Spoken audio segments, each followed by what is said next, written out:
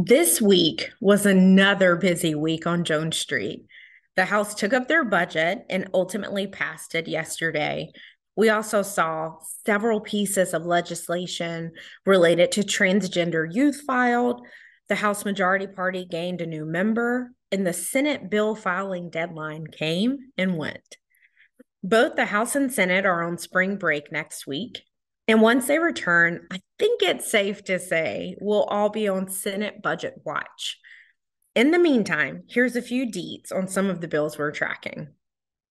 Senate Bill 20, Safe Surrender Infants, includes language that addresses confidentiality, immunity, and duties of those in temporary custody of the surrendered infant. The topic is a priority of the Child Fatality Task Force, and y'all, after a few weeks of inaction, this week we saw the bill pass the House and is now headed back to the Senate for a concurrence vote. We also saw the filing of Senate Bill 467, the 2023 Momnibus Act.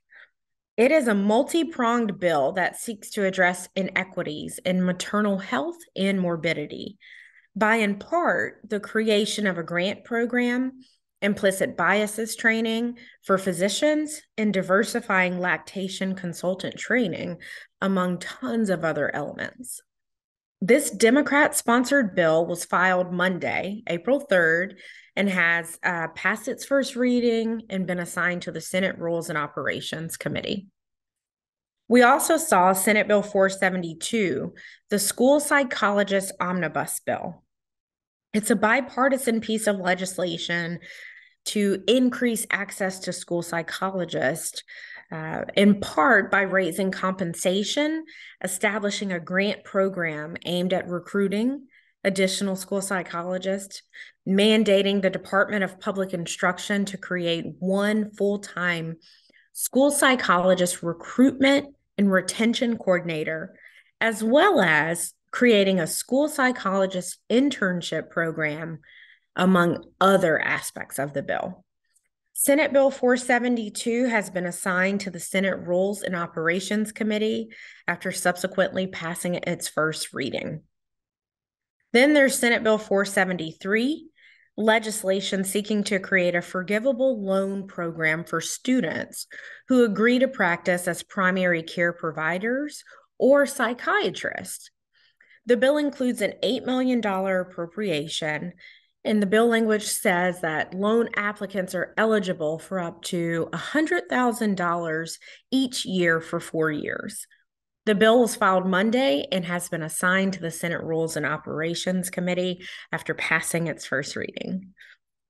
We also saw Senate Bill 474, Accessing Midwives Act.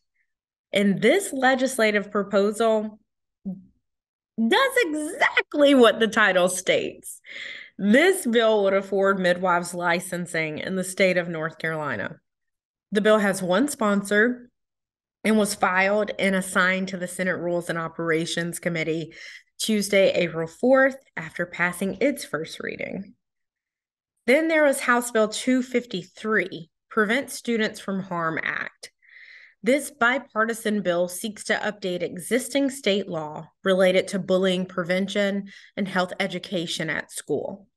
The bill adds language related to preventing harassment and bullying and mandates character education. The bill also adds qualified nonprofits to the list of personnel who can deliver educational programs at school to prevent child sex abuse and child trafficking.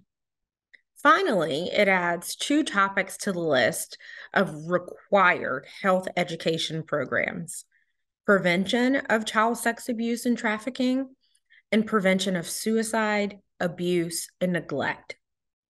The bill successfully passed the House Tuesday and its first reading in the Senate on Wednesday and is now assigned to the Senate Rules and Operations Committee. And then on the House side, we saw House Bill 382, Registered Nurses in Schools, a bill that would allow registered nurses with at least two years' experience in either hospital or health clinic settings to be eligible to serve as school nurses. House Bill 382 passed the Senate last week and went on to pass its first reading and head to the House Rules and Operations Committee Tuesday of this week. All right, y'all.